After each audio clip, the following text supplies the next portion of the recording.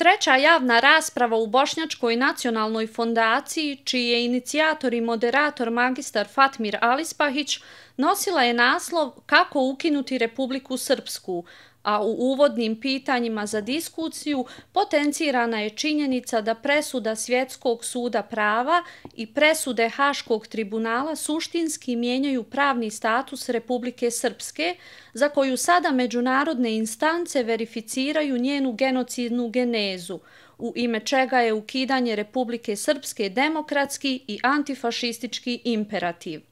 Uvodničari na sesiji su bili Sven Rustem Pašić, Musadik Borogovac i Suad Kurtčehajić, koji su predstavili niz dokaza i mogućnosti za pokretanje procesa za ukidanje i naziva i entitetske strukture Republike Srpske, a sesiju je otvorio jedan od osnivača i predsjednik Bošnjačke nacionalne fondacije Hako Duljević. Danas smo u sjedištu nacionalne institucija u Sarajevu, Štrosmajerovoj ulici, imali priliku da, da u organizaciji BNF-a e, saslušamo e, divna izlaganja brojnih stručnjaka. Čuli smo nekoliko e, izlaganja. Imali smo prije toga dvije tribine i nastavit ćemo i dalje sa održavanjem ovih tribina.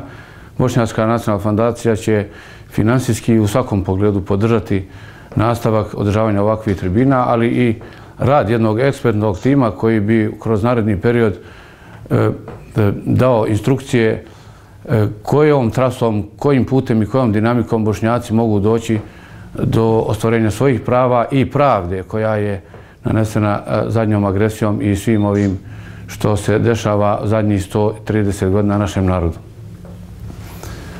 Dakle, Bošnjačka nacionalna fondacija podržava održavanje ovih tribina i tretiranje tema koje se tiču našeg naroda, a koje E, ne mogu da dobiju priliku e, e, kroz jedan javni tretman, bilo se radi o našim državnim institucijama ili našim vjerskim institucijama koje su kao takve postoje ovdje. Sven Rustem Pašić je u uvodnom izlaganju objasnio da u Ustavu Republike Bosne i Hercegovine nisu postojali mehanizmi koji bi opravdali dvoentitetsku podjelu i prihvatanje Republike Srpske, te da taj čin svakako nema pokriće u legitimitetu i legalitetu, ali da se nastoji preko suspenzije Ustava Republike Bosne i Hercegovine i nametanja dejtonskih rješenja učiniti trajnim.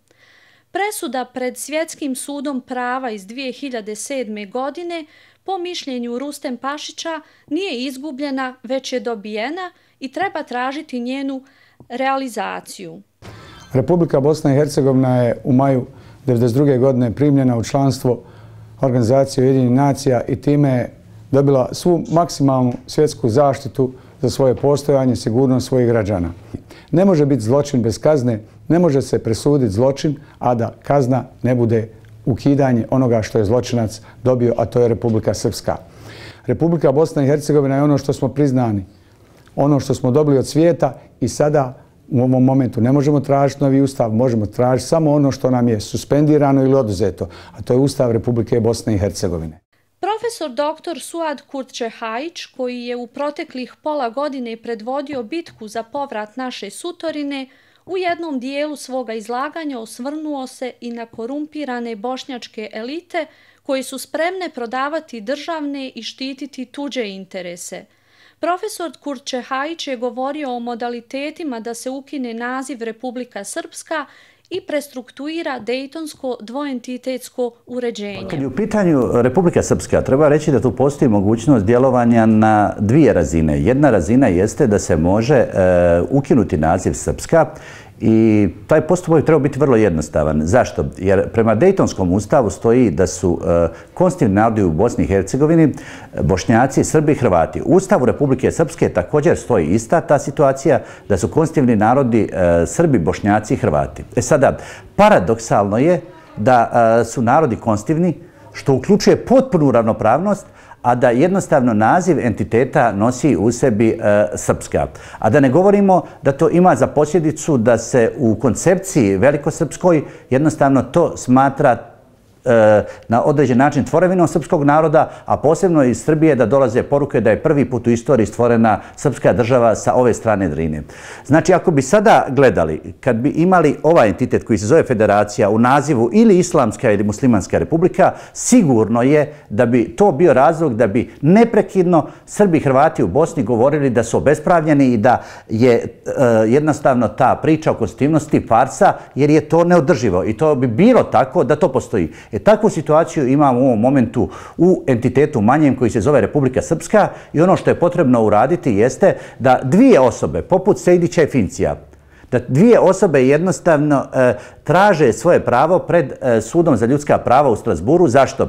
Jer e, jednostavno oni se trebaju pozvati na Evropsku konvenciju o ljudskim pravima i njenim protokolima i ukazati da oni se ne osjećaju jednostavno e, ravnopravni u situaciji gdje je naziv entiteta opredjeljenim jednim od ta tri konstitutivna naroda i sudski zahtjev mora biti usmjeren da se Srpska mora brisati. Druga razina djelovanja jeste kroz e, jednu stvar koja je e, samim potpisivanjem Daytona zanemarena, a to je da je e, u Srebrenici učinjen e, genocid. Međutim, moramo isto to reći, u momentu kada je Dayton potpisivan, tada nije postojala presuda. Presuda je 2007. godine donesena od strane Internacionalnog suda pravde u Hagu, da je učinjen e, zločin genocida u Srebrenici. Međutim, pošto je taj e, događaj se desio prije nego što je potpisan e, Dejtonski sporazum, to je praktično osnov da se može pokrenuti zahtjev pred Internacionalnim sudom pravde u Hagu, da je e, jednostavno taj ugovor učinjen e, povredom e, jus cogens norme, a član 53 Bečke konvencije kaže da je svaki međunarodni ugovor gdje je povrijeđena jus cogens norma koja je najjača ili najopćija norma e, u pravu, to je imperativna norma, norma nad normama, da je jednostavno taj ugovor ništav i To je jednostavno jednopravna situacija koja omogućuje da se stvari i pravdo i prava i pravo dovedu u normalnu situaciju, jer je desilo se je da je Dejtonskim sporazumom e, počinitelj e, genocida jednostavno nagrađen instaliranje tvorevine i da imamo paradoks da su praktično svi rukovodeći ljudi, institucija i vojske i policije Republike Srpske u Hagu ili osuđeni ili se procesuiraju, a da je njihova tvorevina ostala da djeluje. To je znači situacija kao da je ostala postojati Njemačka pod nazivom nacistička, unatoš tome što se proveo postupak u Nirnbergu prema nacistima. U dinamičnim i konstruktivnim diskusijama preovladalo je mišljenje da su najveći problem bošnjačkog naroda korumpirane političke i akademske elite – koji nemaju snage da nose patriotske projekte. Rečeno je da nam odnekle uvijek poturaju trojanske konje koji navodno zastupaju naše, a realiziraju velikosrpske i velikohrvatske interese. Tako je bilo vezano za popis 2013. godine kada su iz kampanje pod nazivom Bitno je biti Bošnjak poručivali da je popis bio dobar i uspješan za Bošnjake, da bismo sada saznali da će putem popisa nestati 300-200 hiljada bošnjaka. Za koga su radili oni koji su obmanjivali bošnjake da je popis dobar, namjesto da glasno upozore da je popis planiran kao nastavak genocida nad bošnjacima, bilo je također jedno od pitanja. Indikativno je da su isti ljudi koji su bošnjake uvukli u genocidni popis nedavno minirali povrat Sutorine – Rečeno je kako će otkrivanje ove istine biti jedna od narednih tema na javnim raspravama sa Fatmirom Alispahićem koje se organiziraju u Bošnjačkoj nacionalnoj fondaciji.